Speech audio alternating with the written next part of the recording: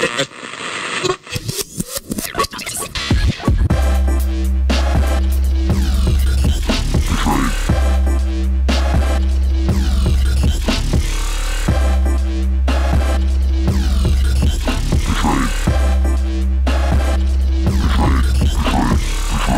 Betrayed. Welcome back to The Betrayed. I'm Gina Beck. This is Drew Williams. Thank you for listening, liking, commenting, and subscribing. We appreciate y'all, especially the reviews on Apple Podcasts. It really means a lot. Yeah, and I'll, like always, thank you again for the continued engagement, the continued support, and the hashtag Banana Cats. If you have a story and you want to come on and tell it, go to the links in the description and message us, and we'll be sure to get back to you. Absolutely. How are you, Drew? I'm doing all right, G. How are you? I'm good. I'm good. Excited for this podcast. Another week. Man, we're just chugging along. We haven't missed an episode. It's pretty cool. Yeah, absolutely. I'm pretty. This is like 77. It's pretty crazy. Yeah. Something I want to mention is we're I know that you guys are listening to us and you guys don't see where we are, but we're in a thing called Whereby. We're not sponsored by them or anything like that. We just want to kind of talk about it for a second. And our I'm not- little Oh, I'm sorry. I was like, and I'm not sure if it's whereby or whereby. I've heard people say both, so just sure someone corrects us. up in the corner we have a little tree. And the little tree if we're able to click on it yeah we can click on it. It says the february forest project. Will plant trees for the meetings you host on Whereby this month. 500000 plus trees have been planted so far which is really cool. So so you guys know every three podcasts we ha- are planting trees i guess According to that, yeah, that's what it seems like. I don't know. I think it started uh, this month or last week. I can't remember exactly when they said it started, but uh, I, I believe if you guys are do online hosting just for like talking to your loved ones, I think if you guys sign up and the the main regular account's free, I believe it's the same way. Yeah, we can link it in the description so you guys could check it out if you want. Again, we're not sponsored. We just think it's really cool. We're helping we're helping the environment with these podcasts in a way. It's actually really neat, and I just wanted to tell you guys. Yeah, absolutely. And like honestly, we would not have the podcast if Whereby didn't have its service. So again, like we're not sponsored, but it's it's a really cool service. Yeah, for sure.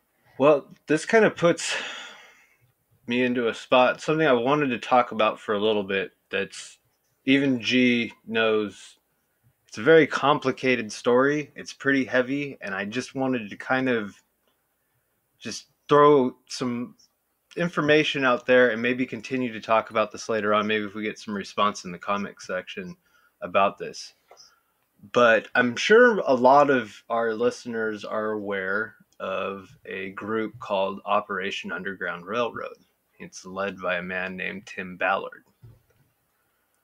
Well, Operation Underground Railroad claims to have rescued 5,000 plus children from straight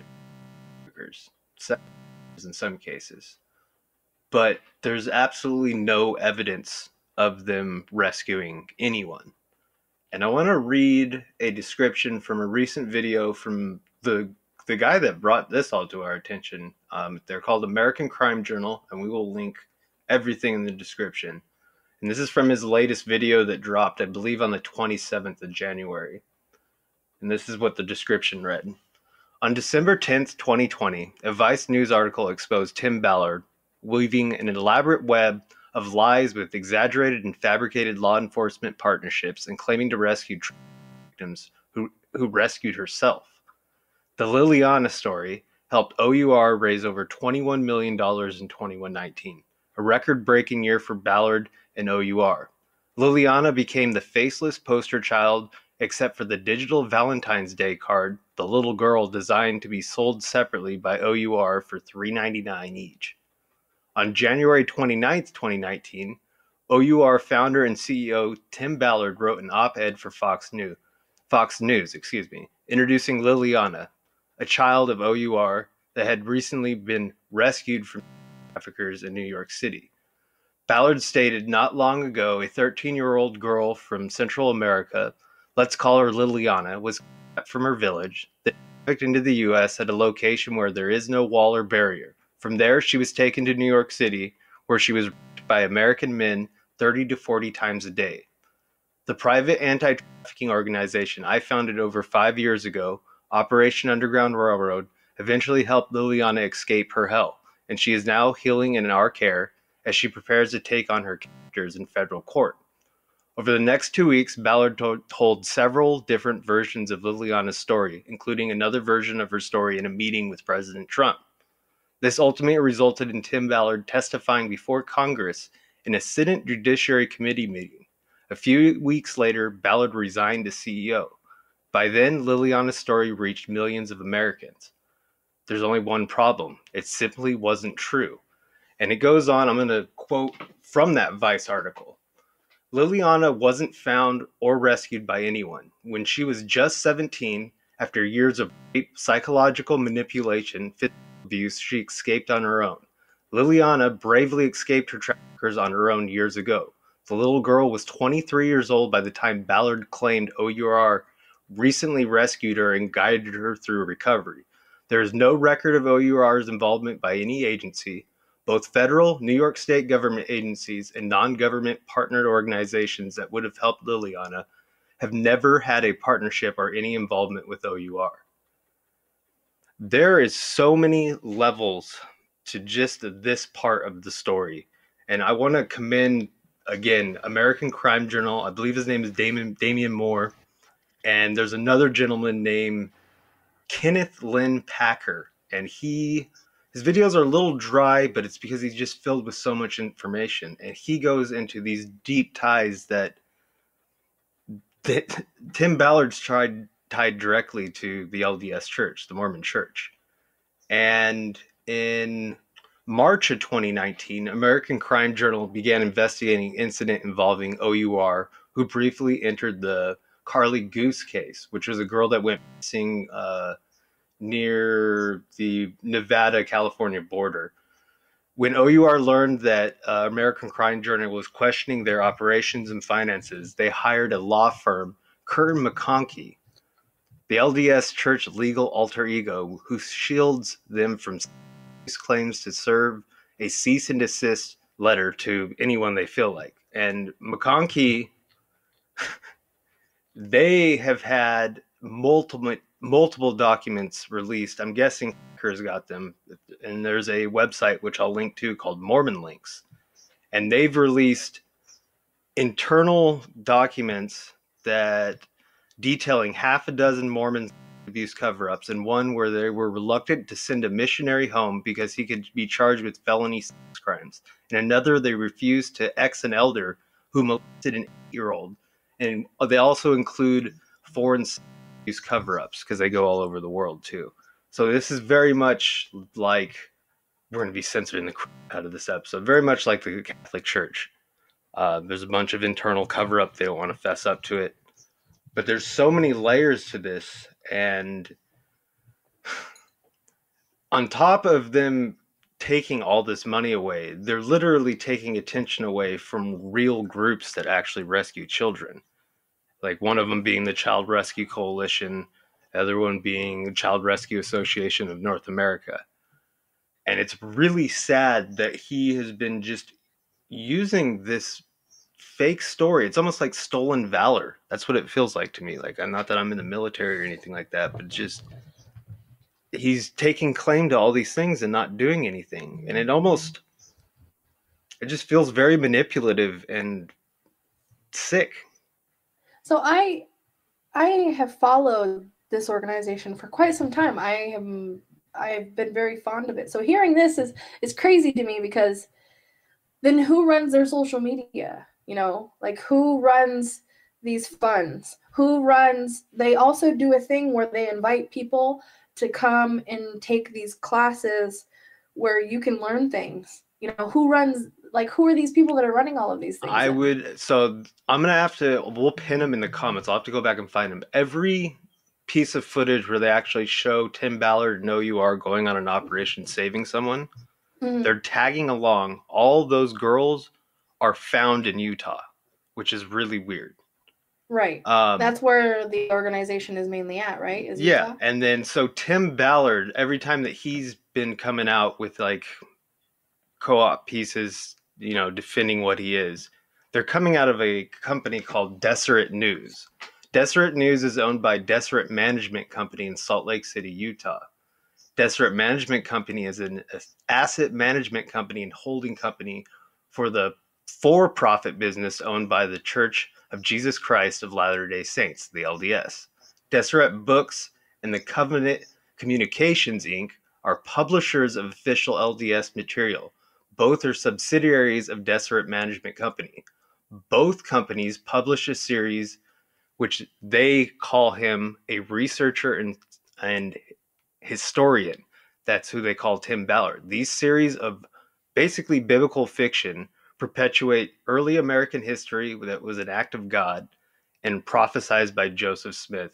It goes the entire thing is ran by religious fanaticals and they're they're they're liars. They're they've been they've it's probably one of the best scams in the last couple years. I mean, considering they raised 21 million in 2019. Definitely, and I still see things about them all the time randomly on my on my feeds on social media. So they're still thriving and going strong, right? It's just like I, I, it boggles my mind. I've wanted to be involved. That's how how realistic they make it seem. You know what I mean? I've wanted to even be involved. So it's just like, what the heck? I, I you know, until I really started digging deep into it, because it's so much to take in. We're when I when I'm when I'm saying that we're only scratching the surface, I am not joking. If we're gonna link you to American Crime Journal, which everyone should go subscribe to. He does awesome work. And then uh, Lynn Packer's videos. They're long. You'll probably need to watch them in parts. But the, I guess you would call it circumstantial evidence and the other evidence and, and real evidence that they've collected against them paints them as just a complete fraud. They're just the entire thing's a scam. Dang.